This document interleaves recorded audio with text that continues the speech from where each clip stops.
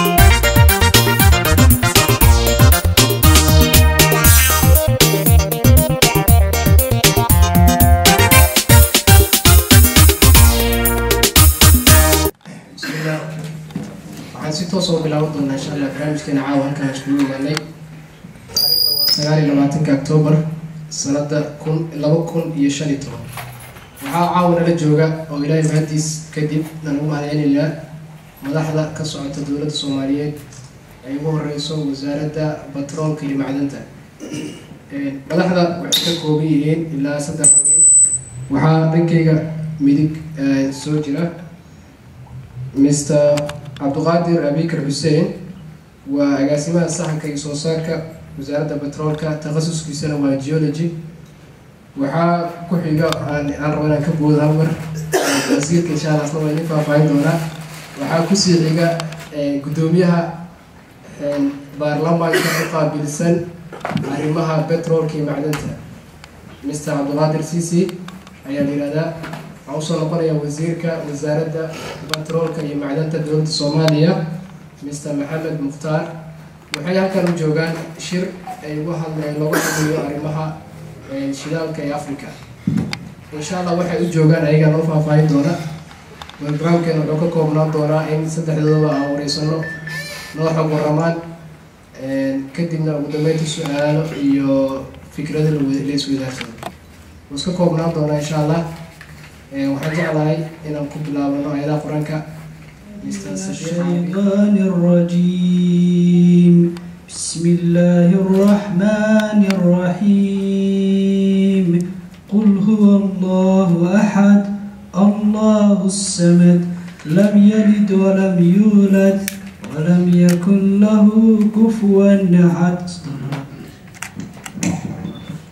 Een, waxaan jeclahay reer western cape haddaan nahay ay madaxda markii loo tahay reer cape town khaasatan in laba ganacsata leebo dadka maska badan doona ay afkeena ku hadlaan insha allah haddii ilaahayno Een, isla markaana dadka halkan wax ka bartay ka mid ah waxaa marka hore ku soo dhaweynaya cabdullahi cali xasan.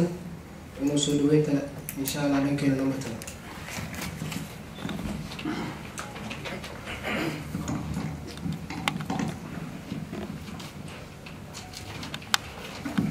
Soomaali ha noolaad. Soomaali ha noolaad. Soomaali ha waad Soomaali caligood ha joogo intaasaan ku bilaabay maadaama xogaa yar aan ka dareemayo xogaa qabow ka dareemayo waqti dheerna inoogu dambeysay soomaalinimo la isku yimaado laakiin markaas iskugu nimaadna laakiin aan sheegayo wasiiro oo kaleeto maxay madax reer wasiir ah maalmahan aysan booqanin Eh, laakiin inta hadalka aanan gelin wasiirka macdinta iyo batroolka maxamed mukhtaar ibraahim xildhibaanka eh, maxay tooday eh, eh, dowladda federaalka soomaaliya cabdulqaadir cali iyo agaasimaha sidoo kale cabdulqaadir madaxda sharafta la kaleeto maxay tahay bulshada soomaaliyeed cape town. Oo iskugu jira ganacsatadii iyo ardaydii iyo aqoon-yahankii iyo odayaasha iskugu jira waxaan ku salaamayaa salaanta islaamka assalaamu calaykum waraxmatullahi wabarakaatu salaan kadib runtii sharaf bay noo tahay in maxay tahay madaxdeena soomaaliyeed maxay tahay halkaan u soo booqdaan iyagoo markooda hore u yimid howl qaran haddana ay jeclaysteen inay bulshadooda arkaan maxaytooda iswareystaan runtii waa arrin aan aada u jecelnahay aadna u faraxsannahay waxaan eri leenahay soo dhawaada waxaan rabnaa inaan madaxda martida ma aada uga faa'iidaysano waa waqti badan la qaadan insha allah bilaydmo waxaa markaan ku soo dhaweynayaa mahad cumar oo ka mid ah sigana ganacsatada waddankan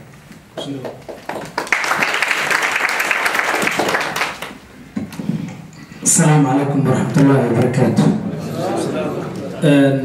waxaan salaamayaa madaxda soomaaliya oo ugu horreeya mataqaanaa wasiir maxamed mukhtaar ibraahim xildhibaanka iyo mas'uulka saran ee wasaaradda batroolka iyo saaxiibkeen saaf soomaal community ah iyo dhalinyarada halkan isugu timid khiyaarta kulli waa maasantihiin waxaan jeclaan lahaa ama dhalinyarada soo qabaqaabisay ee iga codsatay inaan waxyar maadaama marti ay noo joogto aan waxyar uga taataabto dhaqaalaha iyo ganacsiga iyo horumarka ka jira halkan. Okay waxaan inaan waxyar ganacsi ka taataabto. Waxaan ugu magac daray maqaalkan yaroo soo diyaariyey Somali South Africans are the victims of their success. Macnaha madad macnaha lagu ataagayo amba lagu dilaayo amba lagu dhacaayo amba lagu boobayo liajli horumarka ay soo kordhiyeen. Macnaha sababta waa maxa lagu dilaayo maxaa lagu haystaa nigerian baa jooga west african baa jooga central africa. Joogta why are we the target? Marka waa su'aal are we the success? Keena miya mase dembi agalna baa jira. Saddex su'aal baan isweydiiyey oo ah macnaha are we criminals first? Is a question. Macnaha haddii qof criminal waa la dila ama la xer ama macnaha waxaa laga qabtaa soomaan are we criminals we job macnaha ma dadka south africaanka ayaa shaqadii qaban lahayn miyaan qabanaa? Waa su'aal kale. Ma illicit trade oo ganacsi oo sharci daraa miyaan ku jirnaa? Ma sida lagu xanto dadka kale oo afrikaanka waddanka jooga annagoo kale aan ahayn macnaha ma dumarka south afrikaanka miyaan qaadanaa? Marka saas darad miyaan nagula dhacaa nagula dilaa. Or are we the victims of our success macnaha su'aashu waa taas. Haddii aan mas'uuliyiinta waxaan u soo koobo soomaalida halkan waxay timi sagaashan iyo afartii iyo wixii ka dambeeyay nineteen ninety fourgi koowdii waxaan ku bilaabna waxaa la yidhahda street vendors jidadkan waxaan iga jirnaa kobaha iyo dacaska waxyaalahaas. Kadib haddana waxaan u gudubnay dukaamo yar oo la yidhahdo spasa shop oo alaabta yar oo lagu gado haddana waxaan u gudubnay inaan samaysano wholesale yar yar. Wholesale yar yar baan u gudubnay oo intaan wholesale-rada weyn cadaanka wax ka soo gadanay hindida aan ana ku dhexdayna sii kala ganacsana waan u gudubnay. Haddana tallaabo kale baan qaadnay oo waxaan sameynay factories small factories medium factories oo mainly target ku ah waxyaalaha ay soomaalidu sii gado waxaan kaloo sameynay haddana import and export. Waxaan kaloo sameynay haddana waxaa lahada real estate property. Waxaa kaloo intaa noo sii dheer ganacsiga anagu aan iska dhexaynay oo inaan leenahay mataqaana ayay dharka dumarka dharka soomaalida mataqaana inaan cuntada soomaalida soo dhoofino inaan dhoofino. Marka ganacsi fara badan oo waxaa jira anagu ya qodbooyinka dhankeena ka imaanayay insha allah gudoomiye yuusuf Eh, guddoomiyaha safe somality safe somaly community. Eh, waxaa kaloo rabaa eh, kole barnaamij marka la qabanayo hogtiin qarash waa galaa haba iska yaraan ama ha badnaado. Waxaa rabaa inaan mahadcelintaas u safe somalia oo caawa qarashka barnaamijka bixisay. Aad ayan ugu mahadsanyi usalow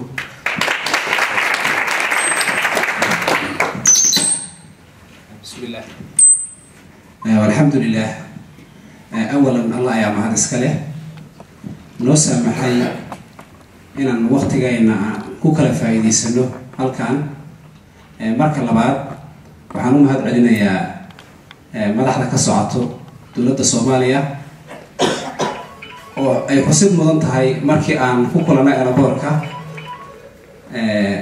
numberka ay malaynayeen inay koonfur africa ku nooshahay. Iyo numberka aan u sheegay ayuu codsaday asigoo waqtigiisu wasiirka iyo wafdigiisaba uu aada u koobnay oo mashquulkooda aada qiyaasi kartaan saddex maalin oy shir u imaadeen ayuu wuxuu lagama maarmaan ka dhigay inuu aada u jeclaysanayo inuu la kulmo bulshadiisa. Marka mar labaad ayaan uga mahad celinaynaa inuu waqtigiisa noo soo wuro runtii war la qabo xiise male annagu maalin kastaan isla joognaa.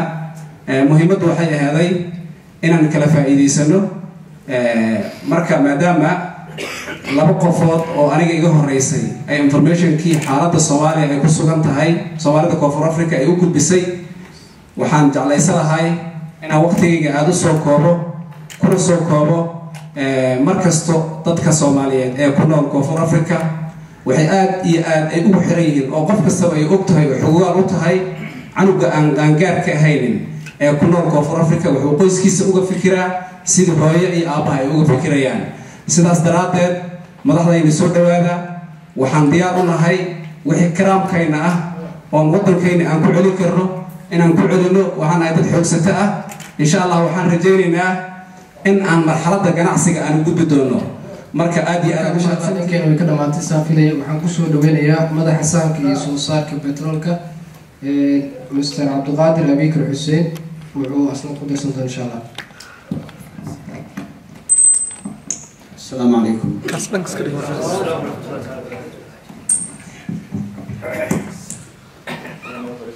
marka koowaad waa salaabantihiin aada iyo aada ugu faraxsanahay runtii south africa inaan imaado dadka soomaalida oo in badan aan maqli jiray maaragtay horumarkooda iyo dhibaatadooda labadaba aan maqli jiray maanta isheeda inaan ku arko waxaan jeclahay inaan warka soo gaabiyo dhinaca kalena inaan u bato dad qayb dadka siyaasadda dhinacigay fadhiyaan. Marka qaybtaas dadkaasaan u daayin doonaa haddii ilaaha idmo waxaan rabi lahaa su'aal markasta soomaalida ay isweydiiyaan inaan idinkaga jawaabo. Oo ah soomaaliya batroolkeeda xaguu marayaa maxaa rajo ah waxaas oo farsamada ku saabsan. Farsamada waa shaqadeeda goonida ah. Marka qaybtaasaan ku hormarayaa bismi illahi raxmaan iraxiim soomaaliya batrool ma leedahay?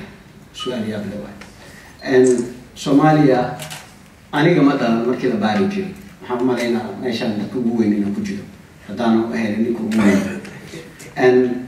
waxaan anoo yaraa waxaan maqli jiray soomaaliya waa la baarayaa batrool laga baaraa markii dambena aniga naftiga kuliyadda geology gale si batroolkii u baaro dibadahaas meelahaas waa aadi marka waxaa maaragtay si haddana islamarkaas batrool u baaro adiga soomaaliya batrool waa laga baaray waxaa laga baaraya kontameeyadii dhamaadkeed waxaa laga baaray lixdameeyadii waxaa laga baaray toddobaatameyadii waxaa laga bilaabay waxaa laga baaray sideetameeyadii intaas nasiib darra ayaa iska dhacday. Waa la baaray meelaha qaarkood. Waxaa ceelo badana soomaaliya laga qoday oo batrool ah. Meelaha qaar waxaa lala kulmay waxyaabo maarata caddaynaya batrool in soomaaliya ay leedahay. Laakiin inta ceel la qoday batroolkii ma soo boodin oo nasiibkaas lama helin. Waagaas ka bacdeen dhibaatadii soomaaliya dhacday waa lasu soo laabtay hadda. Marka soomaaliya waxaan leeyahay horta kow batrool ay leedahay calaamado daliil u ahna waa leedahay. Waxaa daliil u ah waxyaabo badan. Dhagaxii dhali lahaa inuu jiro.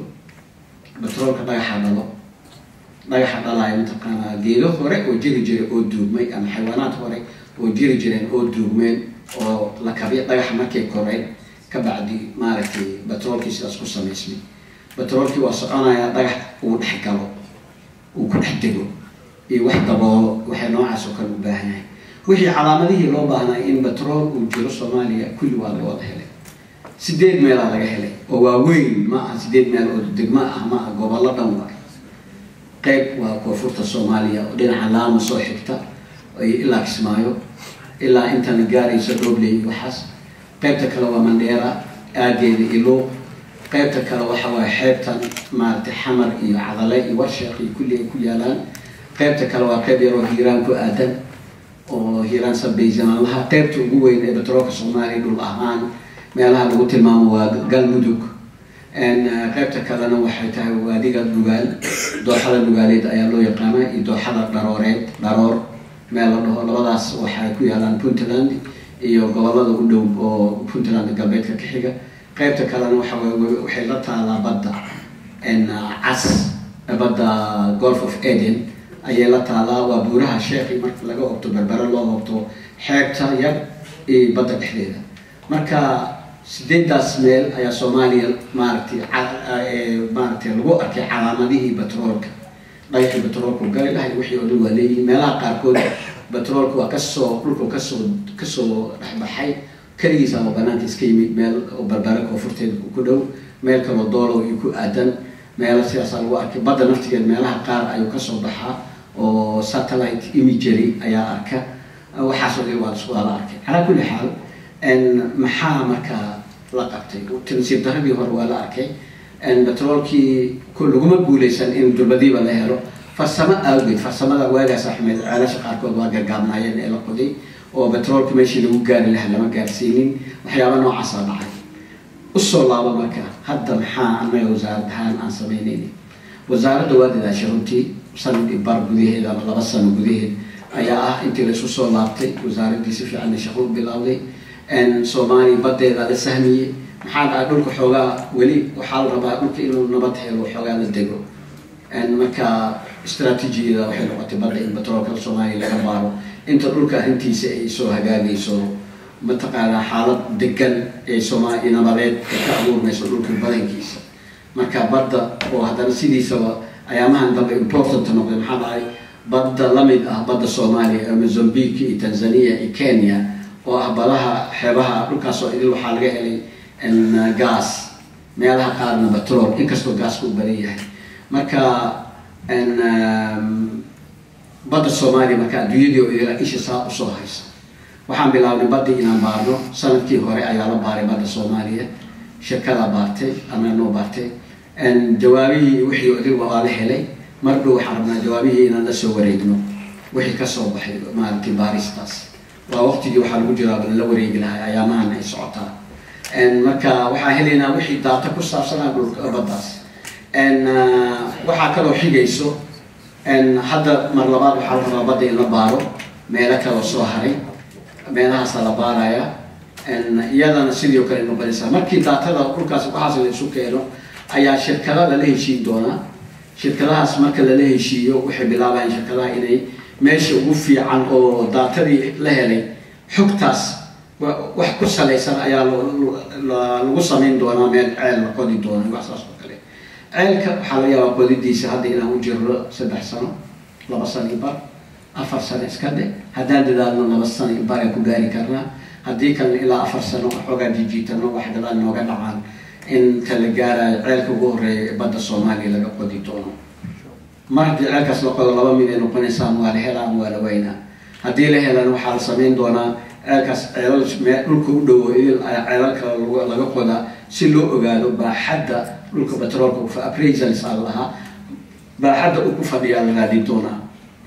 Marka hawshaasaa ma hortaalo runtii meelaha ay wasaaradaha soomaaliya meelaha hadda ugu shaqo wanaagsan waxaa ka mid ah wasaaradda batroolka anoon ula jeedin annaga ah waa isfaaninayna aan ula jeedin.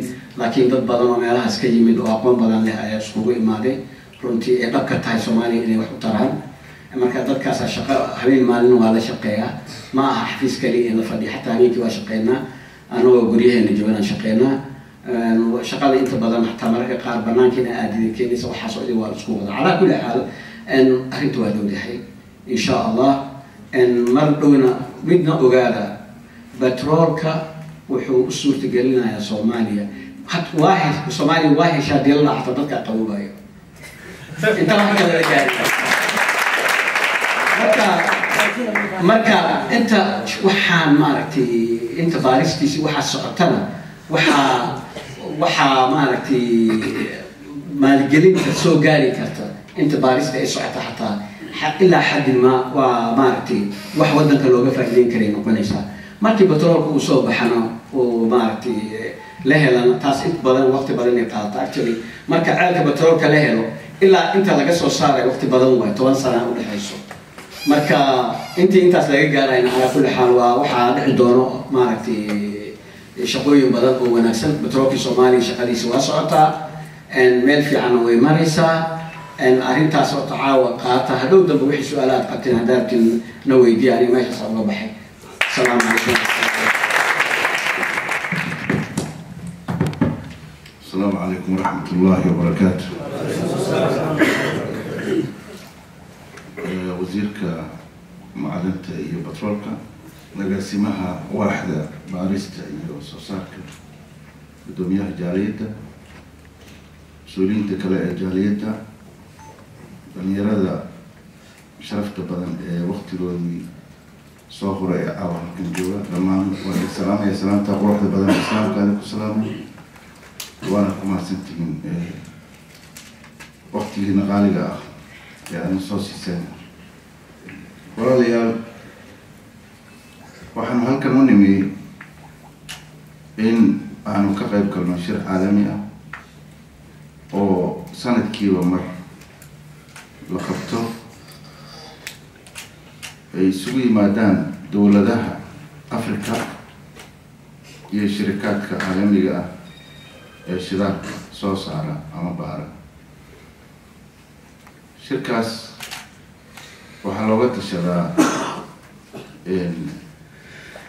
wixii maalgelina oo ay shirkaduhu sameeyeen ee qaaradan africa ay ka sameeyeen iyo shaqooyinka kale ee shirkad waliba ay hayso ama ha ahaato midda qaaradda ama midda caalamkabe wixii ciladaha oo ay la kulantay iyo mustaqbalka waxyaabaha ay rajeynayso inay qabato sidoo kale dowladuhu waxay soo bandhigaan shirkaas intuu socdo. Wax alla wixii howl batrool ah oo waddankooda ka socda inta shirkadood oo ka shaqeynaysa siday heshiisyada u galeen wixii cilado ahay oo soo baxay waxyaabaha u baahan in hadda wax laga qabto iyo waxa u qorshaysan mustaqbalka. Marka waxa weeyaan war la helaaba talo la hele oo kale waa arrin qof waliba uu ay aragnimo ka korarsanayo shirkadiina waxay soo bandhigaysaa waxaa la wixii technology iyo farsamo cusub oo ay soo kordhisay wixii ay ku guuleysatay wixii ay ku guuldareysatay hadday guuleysatay siday u guuleysatay hadday guuldareysatayna sababaha ay u guuldareysatay. Marka waa case study qofka uu ka baran karo in maaragtay maxaa la wixii khaldamay aan dib loogu noqon ee laga sii socdo waddanka cusub oo sideenoo kale aan weli wax soo saarin cashar weyn oo muhiima ayay u tahay inuu shortcut wax la ama jidka gaabane lagu gaarayo guusha. Uu kaga faa'iidaysto waayo aragnimadii raggii hore ka horreeyey ama shirikaadka ha noqdaan ama dowladii waxaa intaa barbar socdo kulamo gaargaara oo dowladuhu yeelanayaan kulamo gaargaara oo shirikaadkii iyo dowladdii ay yeelanayaan kuwaasoo looga arrinsanayo wixii dan u ah markaa dalka. Hawshaas ayada ayaanu u nimid safar dheer aan soo galnay markaanu nimidna isla markiiba shirkii baa hore ka bilowday sidaasaanu ku wadnay ilaa maanta diritaan rajeynayna in la soo gabagabeeyo wax badanna waa ka faa'iidaysanay runtii oo waayo aragnimo ah ee wax badan oo maaragtay maxaa loo baahnaa inaan xog helnana waa helnay dad badanna waa is aragnay ama dowladaha ahaadaan ama ha ahaadaan khubaro ama shir shirkadaba ha ahaadaan intaba waa kala faa'iidaysanay faa'iidadaasna waxaan kula noqon doonaa dalka hooyo shirkeena marka intaas iyo safarkeena hadduu ahaa waxaan aada ugu faraxsanahay marka inaanu fursad u helno jaariyaddii sharafta badneeda soomaaliyeed ee dhulkan ku noolay inaanu la kulanno. Runtii labada ware isdaba socda ee midna yahay positiveka midna negativeka mar walba dhegtaan idiin hayno. Adduunkii maanta waa casri oo dee internetkii iyo mobiladii iyo satellite-kii inta waa furan yihiin. Marka waxba laiskuma seegana xalay meeshii lagu baryay meel walba adduunka? Wuxuu noqday the global village waxa la yidhaha tuuladii caalamiga ahayd. Ayuu noqday adduunkii marka waanu ogeyn in dhib badan aa la kulanteen waanu ogeyn in wax badan aa qabateen. Waxaan hubaa ragga halkan joogayay nina inuusan raaxo ku iman meesha. Waddadii dheer oo la soo maray laga soo bilaabo xamar ilaa iyo meesha tanzania malawi mozambique. Jidka dheeraha la soo maray rafaadkii waxaa mari kara keliya adventureka. Nin calool adag go'aan adag yacni adkaysi badan oo sabar leh. Waan hubaa marka ninkaasi intaa maray inuu yacni u diyaar yahay nolosha inuu ku guuleysto waana insha allahu in lagu guuleysto ayaan rajeynaynaa nolosha. Waxyaabaha yaryare dhacayay waa waxyaaba natural ah. Almar-u caduwun lima jahil ayaa ayaa markuu wax ku cusubya waa waa cadow u yahay. Dad baa soo dhex idima aqoon waxaa tiin may ogeyn. Mar kaliya idin arkan idinkoo dukaamo ku dhex wada haysta. Qaar jalis ahaan inay noqdaan oo idinka maseyraan baa laga yaabaa hosee ninkan dhulkayga uga ganacsaday. Qaar waxaa laga yaabaa inay isleeyihiin lacagtiiba idinka dhaceen iyo xoolihii.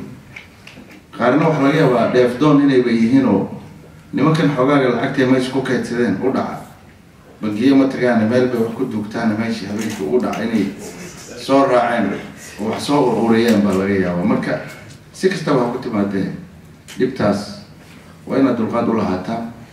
Waa laga bixi doonaa sababtoo adduunka.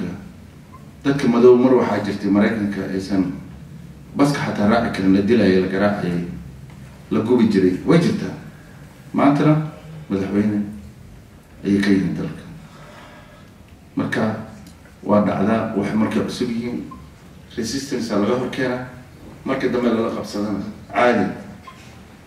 Libnaaniyiinta hindida intoo dhan waa soo mareen dhibkaad idinka soo marteen haddana waa aragteen shirkadaha ay leeyihiin iyo diamondka iyo adduunka lakala xaraasay iyo shidaalka ay baarayaan. Marka annaguna waa gaari doonaa fadlan yaa la niyad jaban horta taas. Waxaa u tihiin safiiro dalkiini intaad joogtaan dalkan sumcadda ha la ilaaliyo mujtamaca haddii lagu barto tuugo lagu barto ciyaal suqnimo lagu barto been lagu barto wax inay dhacaan lagu barto bangiyada inay khiyaameeyaan lagu barto maarata deymaha inaysan bixin lagu barto inaysan shaqaysan oo ciyaal suuq yihiin ratingka mujtamaca ay ka galayaan wuxuu tagayaa hoos hadhow lama aaminayo marka canugiisa xataa jaamacadda dhamay shaqa lama siinayo waxba laguma aaminayo shirkadii wax codsataa lama siinayo qandaraas qiimaha waxaa hoos u dhigay meesha adiga iskaysa laakiin haddii sharaf oo dhan iyo credit aada yeelato hadalkaa uu sax yahay qandaraaskaa uu sax yahay dembiyadaadu yar yihiin macnaha crime rate-ka mujtamaca meel degan waa la fiiriyaa. Soomaalida maxaa hindida maxaa kalarka muxuu cadaanka crime rate-ka wuxuu hoos u dhigaa qiimahaada adiga aad ku dhexleeda mujtamaca. Marka waxaa loo baahanya dadku marka ay yimaadaan dal ambassadors inuu noqdaan dalkooda inay inay ilaaliyaan xurmadii mujtamacaas iyo magaciisa inay ilaaliyaan haddaad ilaalisaan waa rabaa meel fiican inaad ka gul maqaam fiican ka geli doontaan dalka aad joogtaan lidana ixtiraami doona idinka taas balma waa mid midda labaad waxa weeyaan mujtamacu inuu isku duuran yahay institutionna inaad samaystaan looyaro inaad lacag isku dartaan looyaro idinka aad leedihiin oo idinka difaaca maxkamadaha ganacsigan idin difaaca xuquuqdan idin difaaca qofkii dambi idinka gala idin idin maarata idin dagaalama inaad leedihiin oo xoogan lacag aad ku bixisaan la rabaa access inaad dawladda u leedihiin oo dawladdii aad inta isku duubantaan oo wax walba samaysaan inaad wasaaradda arrimaha gudaha iyo booliskii iyo waxoo dhanba inaad access fiican u leedihiin oo ciddii waxay yeesha isla habeenkaasba inuu inuu inuu ogyahay oo midda saddexaad bulshada aan la nooshiin sumcad oo ku dhex xiriir fiican la leedihiin hadda aniga halkaan deganayo oo inaan sii baxayo soo galay mogili aqoon. Beri hadday waxay ugu dhacayaan qof ii hiilinayo male iyo qof waa inaa xiriir mujtamaca la leedahay mujtamacaas wuxuu keenayaa in lala diriro ciddii wax idin yeesha ama la idiin soo sheegay ciddii wax idin yeesha tahay saaxiibo inaad samaysataan mujtamac inaad fahamtaan contribution inaad samaysaan wax ku dartaan dadkii wax u kordhisaan saaxiibo ka ma dad sumcadla aad ka noqotaan. Intaas waa horta waxa weeyaan sida ugu dhow dhibaatooyinka hadda jira looga hor laakiin waa la hubaa مالين مال محكمة دي ولا بحدونا فهمتها أو دي كان جوا إيوه حنا سكر مال دوران إنتاس وابريكوشن المعنى هو وحي لو سمين لها مدة استدحاد وحوية محبرة شد طبعا محبرة مال مكان حقيقة إنتاس. فضل وقتي لها بيبت جماعسية يغيبت راك ينولش كسكو هبين كنا هاتي لو حجيدنا هنقضي ويل أندنا هنقضي. وقت الحلق وحبرتها carruurta yaryarna waa in lagula dadaalaa inay jaamacada ka baxaan. Sababtoo ah mujtamacu hadduusan wax baran waa baaba-a meel ma haysta waxaad ka gelaysaa kabahaad noqonaysaa. Taas waa idinkala dardaarmaya midda afraad waxa weeye dalkiini. Runtan idin sheegaya soomaalida waxay tiraa biyaha sacabadaada ayaa looga dhiga dowlad soomaaliyeed oo aan dad soomaaliyeed dhisin dowlad soomaaliyeed ma noqonayso deeq shan iyo labaatan sano ayaan gacanta horsanay hal meel buuxiso finjaan yar koob shaaha oo buuxiso waa la waaya deeq labada ka dabasha qof bini aadan wuxuu keenay meel ma buuxiyaan hantida marka aan leenahay shilin shilin haddaan isugu darno dowlad complete aan helaya waxaa u baahan nahay dalkiini inaad u samaysaan khasnad aada ugu ururisaan deeq wixii aad heli kartaan loona de sababtaan idin sheeg adduunka cid kasta hadday isu timaado been idama mushaharka askarigaada ma la bixin. Wax kasta sheegto ma la bixin. Askariga haddaadan helinna amni ma helaysa amni haddaadan helinna maalgashi ma helaysa maalgashi haddaadan helinna dowladba ma helaysa marka. Because dhaqaalaha ayaa dowladda wax lagu kala wadaa haddayna wasaaradda aysan budget haysa maxaa leedahay mas'uuliyiinta kale qaranka aysan lacaga ku shaqeeyaan sidee wax loo kala wadi karaa adigaan bal adigaan bal isku day inaad maarata maxaa leedahay lacag la'aan wax inta ummadda isu keentid oo hawl gelisid oo dhaqaajisid oo baabuurka soo kiraysid oo meel soo dhigtid oo hawl la galo oo la dhaqaaqo oo macquul ma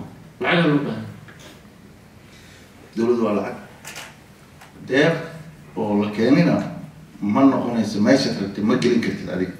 Qofka keenay baa yaa gelinaya meesha rabo maanta o dhan ayadoo sarka kaa marmaraysaa marna halkaan lagu shiraya marna halkaan lagu shiraya marka shirki hadal iyo huhaa noqday sanadka waa dhamaaday sanadka dhamaa la gaaray shir iyo huhaa sanadka kale la gaaray shir iyo huhaa adi hadhow dada waxa weeyaan wax ka soo baxay iyo wax ka soo naasacad male halka adigaa taaganta weli adduunkii laga xaqiraya waa lagu ihaanaysanayaa meel kastoo tagtaa baasabor la'aan ku socotaa garoon kasta lagaa dejinayaa ihaanadaa ku soo jirta saas maa marka adinka raalli akatiin ama ummad soomaaliyeed inay weligeed ku jirto. May marna deeq laguma noqonayo dowlad dowladnimada marka horena dahabkeena gacanteena gabdheheenna ay bixiyeen iyo dhididkii iyo dhiiggii wiilasheena ayaa lagu helay marka. Gacanteena markaa ku burburinayna dib waxaan u dhisi karnaa jeebkeena shilinkiisa iyo shaqadeena annaga aan ku bixino oo voluntaryga taasaa run ah aan ku noqon karna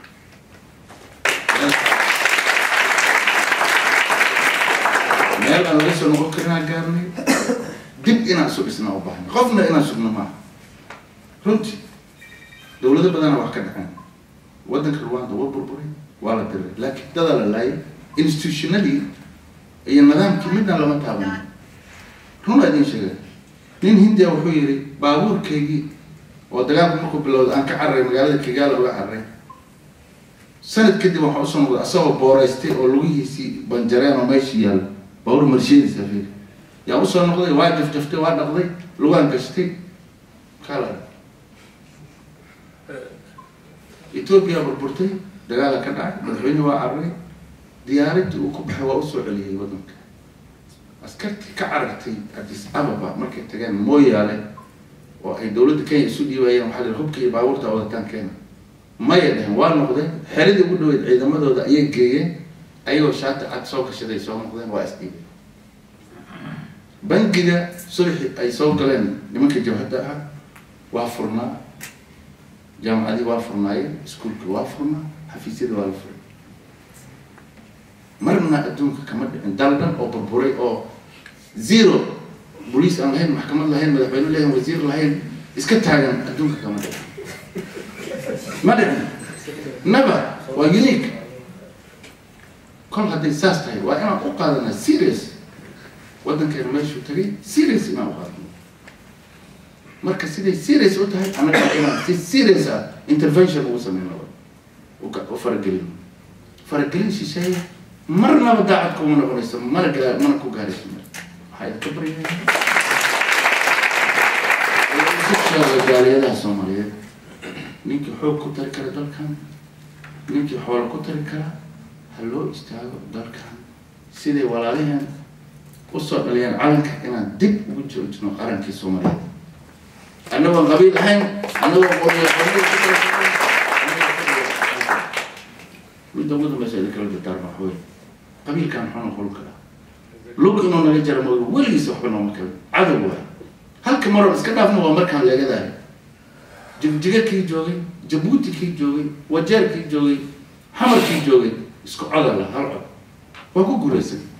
Mar labaad haddana isku daynay inaan joojino xukunka askarta markuu yimid intii hore oo tobanka sano ugu horreysay discibliinka askarinimada nagu dhaqeyn qabiil naga dhaafay dheheen waa ku waa ku waa ku waa ku meel gaarnay waxa laami la dhisoo dhan waxa dekada la dhisoo dhan waxa jaamacada la dhiso intaasaa lagu dhisay maalinka dagaalkii iyo balaayada aan galno soo jabnay waxayna ku soo noqon haddana waa walaaqanay meeshaan istaagnay please.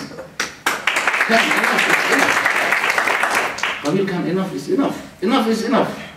Let's forget qabiil hindiya waxaa ku nool one point something billion. One point two billion ayaa hindiya ku nool oo gaal leh oo cawaan leh oo hindi oo muslim leh oo christian leh oo wax walba leh under one state one flag one nation. Nin walba lacagtiisu dhiba cashuurta dalkiisa siya shaqadiisu aadayso. That's it. China maxaa ku nool?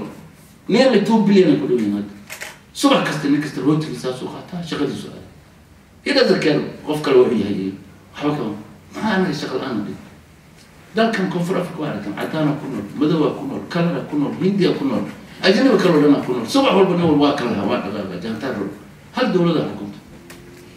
ya britoria laga xukumo bes nin walba dantiisu raaca why wax toban milyan aan ka badnayn oo meeshoodaba iska cidlo tahay oo waxba degaba lahayn oo afar magaalo basa degan war qaahiro magaalada waxaa ku nool dhowr iyo toban milyan oo qofa hal magaalo ku nool waa inta soomaaliya dhan tahay hal magaalo aaba naqaadaba anaga dhan xamraaba naqaada soomaaliya dhan dhan That's it. tuma waxaan ka fikiraya why balaayada sida baalka bacbacmaan lahaa daankada burar aan u qaban laana hawaalka u karkarayna maxay tahay intayna yarta waay shartaa nagu jirta maxay ana waxaa u qaataa aqoonta inay tahay bis because consequence waxaan samaynayna ma naqaan vision ma lihin fog planna ma ku socono hadduu ninka hal milyan helo waa firdhinaya waa iska soconaya caawar beri wax kale iidhib no plan no plan waa run consequence war reer hebelaa la laayay qorigiisu la booday doesn't know waxa ku soo noqon doona repercussionka gadaal dambe backfirinka markuu ku dhaco wax gaari doono ma oga hadalka waan dheereeyay waqti dambe waaye shaqo badan ka timaadeen walaalayaal dalkii idinku idin yahay marti idinku marti idin yahay dadka suudaniyiinta oo walaalahan annagana la mid ah qof walba sanduuqa dalka ayuu ku ridaa kan maraykan joogo kan yurub joogo kan africa joogo waa ku sanadka oo ku xisaabtama budgetka dowladda meesha la yidhahdo eh, eh, nimankan kaloo ayagana eh, eh, eritrea maa la yidhahda kadalika waa saas oo kale wadamo badana jira saas oo kale annaga ma sugayno marshal plan ka yurub markay dagaalka gasho burburtay dib uu maraykanka ugu dhisay ma sugayno deeqdii w f b u n d b na waa aragnay enough. Now it's the somali vision marka annaga inaan dib u dhisno waa dalkeena fadlan kowda looli in calanka la bubiyo. Noolow noolow. See ku noolanaysa Ah, ma soconayso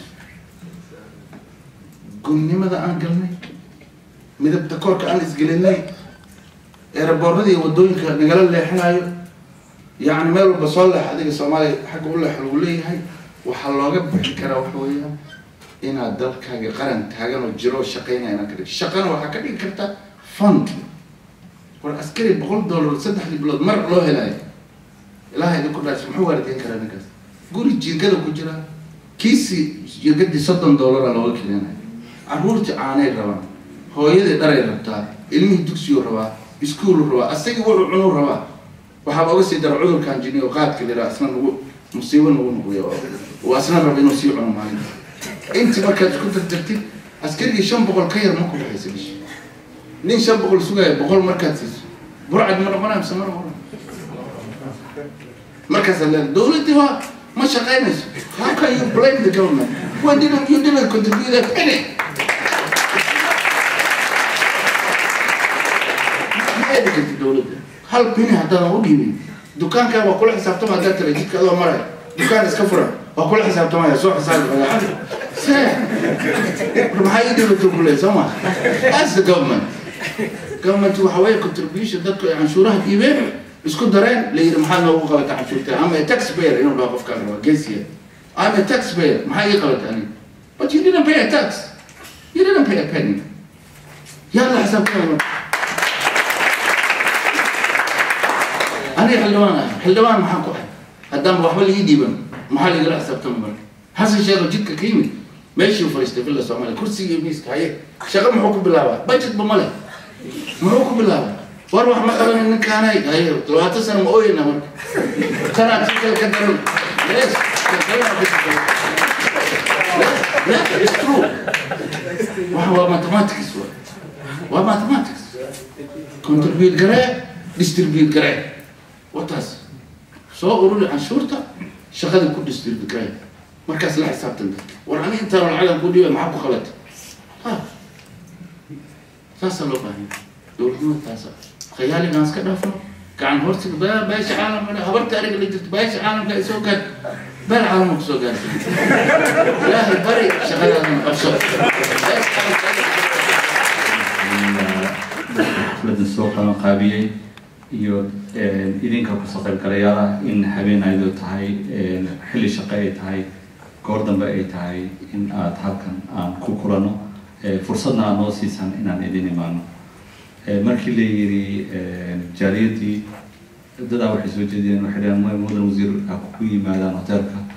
Hoteelka quruxsan marka waxaa yidhi meesha lagu kulma halkee waa waxaa la yidhi meel jaaliyadda leedahay. Dhul aan leeyahay iga fiican hotel five star aan ku joogo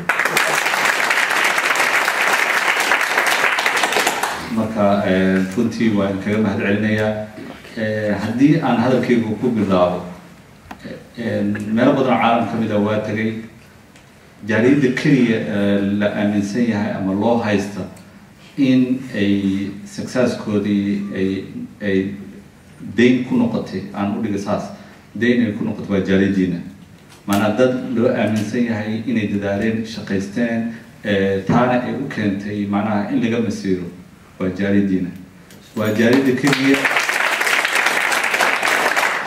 markii ay ka dhacaan dhibaato jaalidaha soomaaliyeed inan halkan keliya ma joogaan caalamka dhan ay joogaan jaaliyadda keliya loo mudaaharaado lala xanuunsado la yihahdo manaha dhibaa lagu hayaa waa jaaliyadiina marka taas marka waxay muujinaysaa in ama magac iyo maamuus aad ku dhex leedihiin jaaliyadaha kale soomaalida hadday ha noqoto ama soomaalida waddanka joogta ha noqoto marka taasna ilaahay ka sukoo mahadid idinkaa iskale waddanka guud ahaan waa ka wada warqabtaan oo hadda manaha dee marmarka qaarkood waxaa dhici karta waddanka anagaa noolaga sheekeeyaa dadka dibadda jooga. Literally intuu ku soo wuxuu ku leeyahay waxaas ma ogta markaasaa leeda maya. Wuxuu ku saas saas saas asaga ku dhaamo ama facebook ka arko ama twitter ka arko ama manaha cid kale u sheegtay so marka horta wax laakiin waxaan rabaa bisa inaan la wadaago. Waxyaaba waxaa jira marka complex ah oo u baahan in inay sida isugu xirmayaan marka qaarkood dadka dibadda jooga loo ifiyo manaha soomaaliya hadda waxaa soo qaabilsan saddex arrin oo waaweyn ayaa soomaaliya hortaala midda ugu horeysa macnaha waxay tahay annaga waxaan ka guureynaa waxaan loo yaqaana centralized government system waxaan u guureynaa federal government system. Exactly waxa waxay la mid tahay. Adigoo lagu yiri halkan gurigan adiga iyo caruurtaada meeshaan aad degantihiin adigoo oo aysan guriga waxba ka dhisnayn guri ka dhex dhis caruurtii kama rari kartid meel banaanka ma dejin kartid. Macnaa meesha dhexdooda ayagoo ay degan yihiin. Dadkii dhisay ha yimaadaan qolalkii hala kala gooyooy asaaska hala qodo manaha laamiyadiga hala saaro adiga caruurtooda ku dhex noolaada waa fahmi kartaa inconvenienciga ay abuureyso manaha dhibka ay abuureyso oo ah manaha dee see loo qaabeeya reerkiia meesha degan alaabtaada yaa dhex taale see guri maanaa meel dhul aad degan tahay loo dhisaa adigana aada ku dul noosha. Manaha waxay ku fiican tahay in aad ka maqan tahay guriga la diyaariyo reerkiisoo guri soo ma annaga dhibkan hayse waxay tahay manaha federaalkii inta diyaarsanay shuruucdii diyaarsanay xuduudihii diyaarsanay awoodihii aan ku heshiinahay diyaarsanay u codaynay markaas kadib uma soo guurin. Annagoo manaha aan ku talagelno meesha dhex fadhina waxaa la yidhaha iga dur gooy xagga ma inta wallahi inaan istaagay anaa iskale manaha ay manaha waa fahmi karnaa confusionka ay ay nagu dhex abuureyso taas marka waa hal oo federalizationkii oo socdo. Manaha wuxuu keenaa dhibkiisuu keenaa sababtoo siyaasaddii nooma diyaarsano heshiiskii nooma diyaarsano shuruucdii nooma diyaarsano on top of that waxaan ka imaanaynaa background ah eh, macnaha islaamin daro colaadana dhex martay shakiyaan kala qabnaa. Marka horta macnaha waa marxalad adag oo aan marayno taa marka waxaa weheliso arrintii dastuurka manaha haddii ay dastuurka uu noo diyaarsanaan lahaa wax badan xalin lahaa dastuurkiina asagana nooma diyaarsan waxaa haysanaa dastuurka meergaara oo inta badan wax walba la leeyahy waa laga wada hadli doonaa waa la yeeli doonaa iyo mustaqbalkaa la go'aamin doonaa.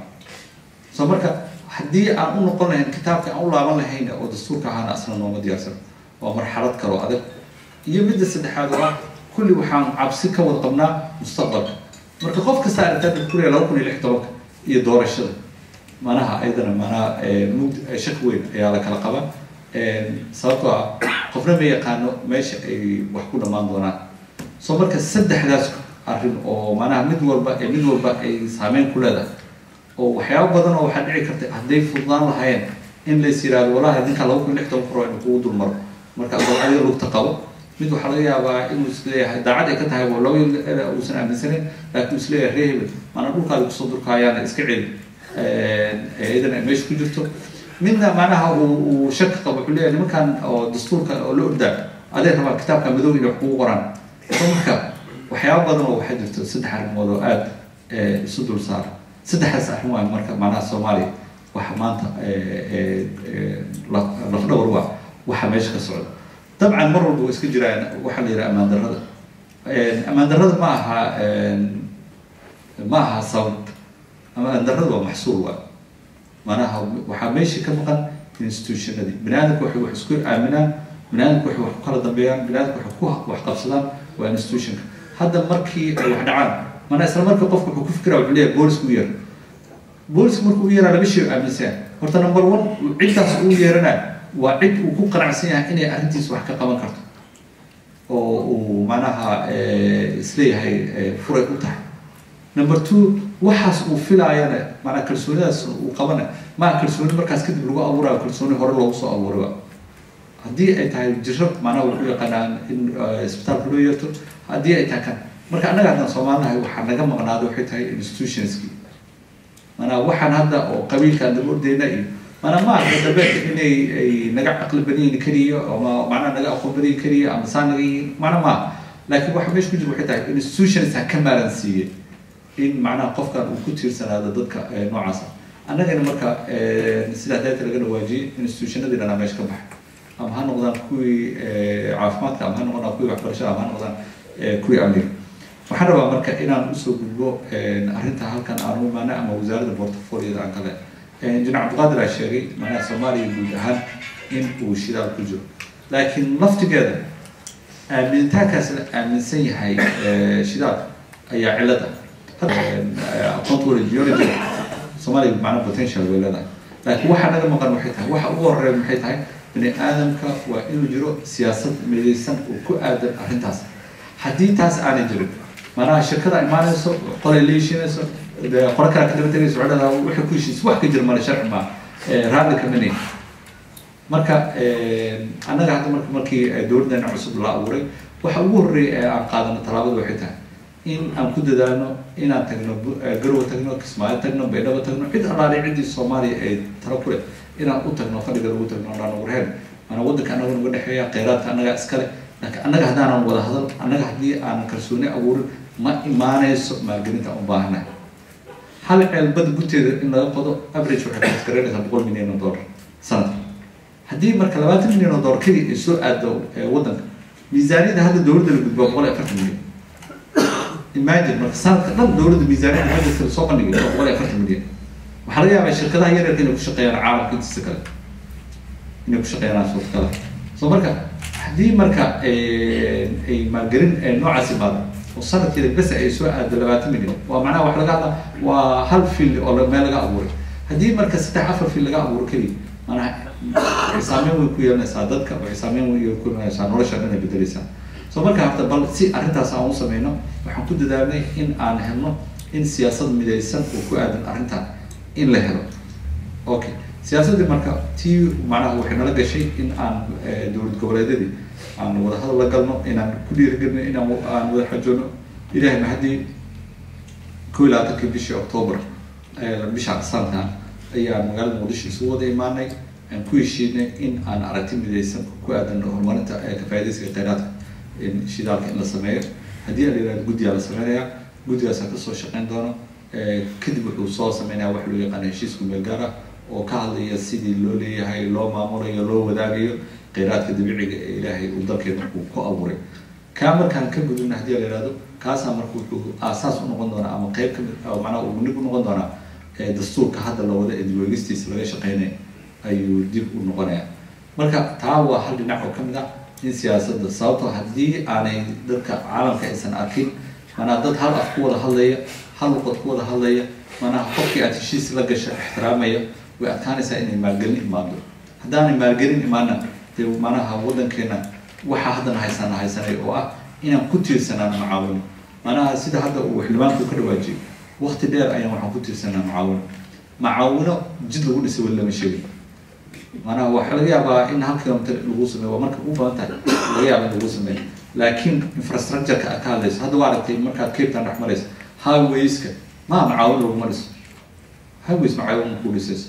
Okay haddii aad ka hadlayso waxbarasho maaha waxay cunug yaro oo batajaaj lagu baray kamaad maanaa waxbarasho haddii aad rabto aqoon dad le bulshada inaad soo saartid waa inaad maalgelin ku samaysid haddii aad ka hadlayso caafimaad saas oo kale. Manaha dadkeena macno badan uma sameynayaan. Dowladda nabad ay keenaysaa aysan nabad dhulka isku arkin macno badan uma sameynayso haddii aysan noloshooda waxba ka bedelmayn maanaa bob collier waa nin oo academician oo la yaqaano markay dhaqaalaha imaado economic. Maanaa wuxuu ku doodaa wuxuu yihahdaa haddii waddan uu colaad ka baxay haddii dhaqaalihiisa uusan afar boqolkiiba sanadkiisa uusan kordhayn waxaa khatar ugu jiraan inay dib ugu laabtaa colaada sababta bani aadamka hadduuna arkayn noloshiisa inay wax iska bedelayso macno badan ma sameynayso cali kaasaari iyo faarax xukuma iyo sheekadaas qofku wuxuu rabaa noloshiisa inuu wax ka dareemo rabaa shalay haddii uusan haysan maanta inuu fursad shaqo haysto hadduu shalay waxbarasho haysan maanta inuu fursad waxbarasho haysto. Marka dowladdii waa inay adeeg geyn karto.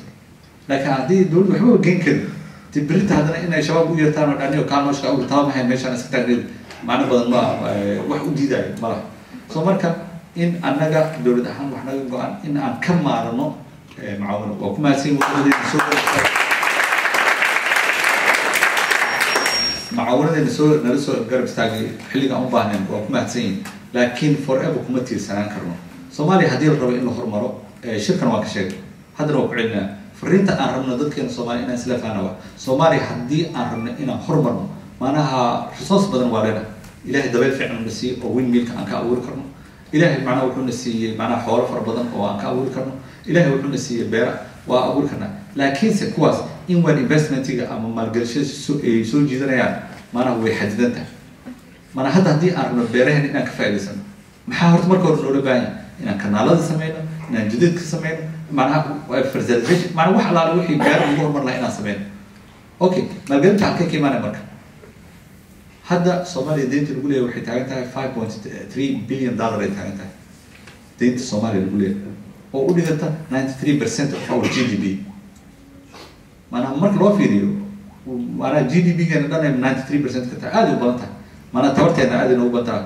Maanaa waddamada kale waxaa laga yaabaa oo g d p gooda ay weyn tahay.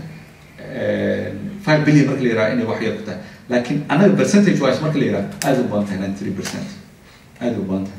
So marka ko access uma lihiin financial institutions imft world bank hadda deyn noolama ogolo so marka haddii aan deyn lagu ogoleen adigiina aadan haysan macnaha dhaqaalaha waxaad ku maalgeliso.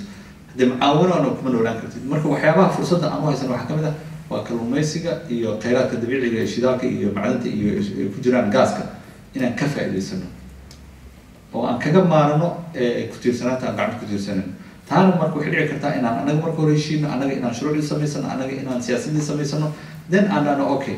Hadda idinka waxyaabaha idinku dhiirigelinaya south africa inaad joogtaan ma south africa inaad jeceshiin asaja ma laakiin environment waxaa jira keenaayo inaad ka shaqaysataan manaha runtii maanaa dadka businesska manaha waa dad very clever.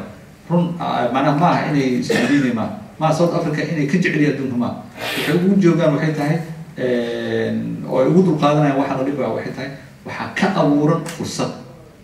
Qofka ganacsatana saas waa maanaa shirkadii unba maanaa total iyo shell way ka wen yihiin idinka way idinka capital weyn mooyaane laakiin the same mentality oo idinkaa ku shaqeynaysaan ku shaqeynaya hadday arkaan meeshaan fursad inay joogto waa maalgashanaya hadday arkaan laakiin inaysan fursadeeda aysan ficneen manaha cid maalgashanaysa male so marka si maalgashigaas uu dhaco anaga waxaa dowlad nalaga rabaa soomaali ahaana nalaga rabaa inaan ku heshiino oo ka siyaasad midaysnaano oo aysan colaad usan noo keenin sababtoo ah adduunka waxa ugu daran waxay tahay dhaqaale aadan hayn faa'iidada laga heli doono inaad isku sii dagaasho